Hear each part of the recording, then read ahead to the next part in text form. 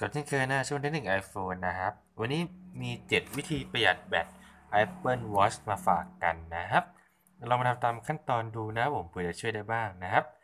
สาวเชใช้งาน Apple Watch แล้วเกิดปัญหาแบตหมดเร็ว เรามีตอนดู 7 วิธีนี้นะครับ จะให้ Apple Watch ของคุณประหยัดแบตได้เยอะเลยนะครับ 1. ปิดแบ็กกราวด์แอป Refresh อันนี้ใช้ iPhone ก็ได้นะครับในที่ Apple Watch ก็ได้ หรือง่ายอุปกรณ์ iOS ทั้งหมดก็ได้นะครับ เพื่อแอปพลิเคชันไหนที่ไม่จำเป็นจะได้ไม่ต้องกินแบตกันนะครับ 2. นะครับปิดการแจ้งเตือนที่เราไม่จำเป็นก็ปิดไปได้เลยนะครับ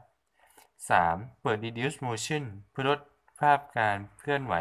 ของตัวเครื่อง 4. เปิดโหมด power reserve mode เพื่อประหยัดพลังงานในยามเมื่อใกล้จะหมดนะครับ 5. เปิดโหมด workout power saving mode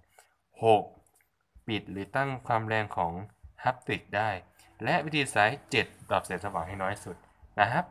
อ้ออีกวิธีหนึ่งที่แอดจะแนะนำ GPS นะครับ และเซลลูล่าใช้อย่างระมัดระวังนะครับไม่เช่นจะกินแบตได้นะครับสวัสดีในช่วงเทคนิค iPhone นะครับคงจบลงเพียงเท่านี้นะครับ ขอบคุณสวัสดีตามมารับชมด้วยนะครับผม สวัสดีครับ